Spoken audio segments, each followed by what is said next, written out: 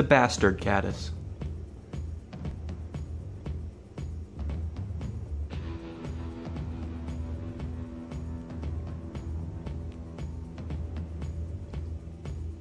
Go ahead and start the fly off by mashing the barb on a Dai-Riki 300 size 12.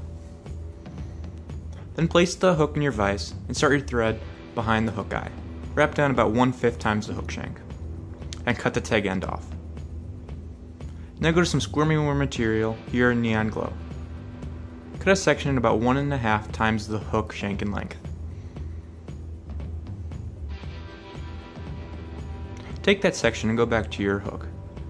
Tie the cut section face forward on top of the hook shank. First take some loose wraps to position it.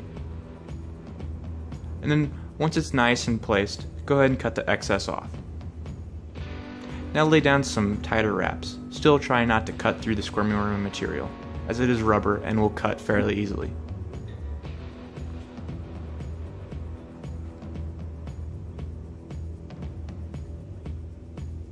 Now go to some natural colored cow, cow elk flank hide. Cut a section about one half times a pencil in width. Strip out the short fibers and underfur. You may need to use a comb to do this.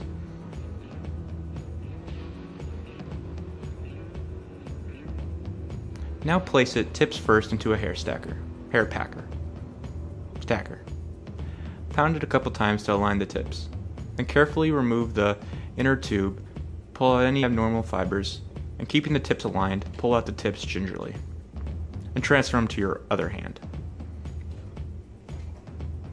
Now go back to your hook. With the tips facing the back end of the hook, go ahead and tie a wing about one hook shank in length. Splay them out so it covers the whole top half of the hook. Create a nice thread base, trying to make it as smooth as possible. Now grab the butt ends, take a couple wraps in front of them to stand them up, and cut ahead about two hook eyes in length.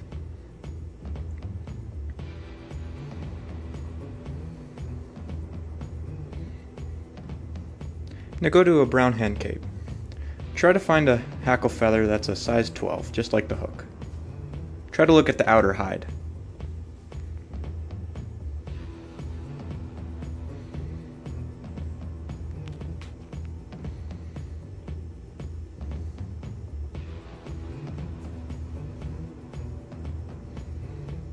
Once you find the correct feather, find where the fibers get too big and webby and pull that off.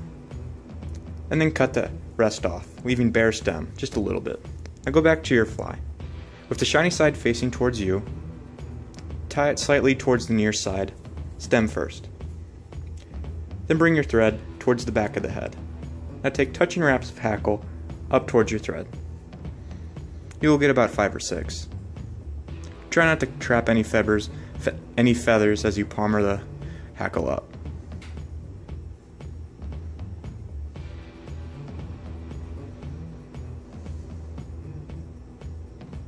Once you reach the back end of the head, go ahead and take a couple wraps to secure the hackle.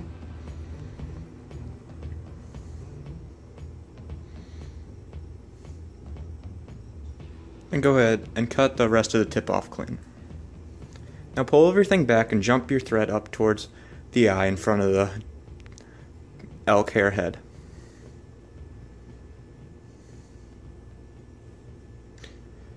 Now carefully whip finish your thread, making sure not to trap any hackle fly fibers or elk fibers. Then go ahead and cut your thread off and invert your flying vise.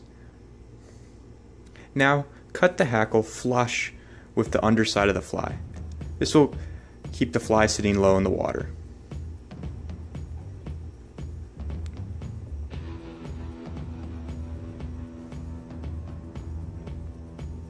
After that, apply some drops of nail hardener or head cement towards the underwraps for durability, and that's it, that's the fly.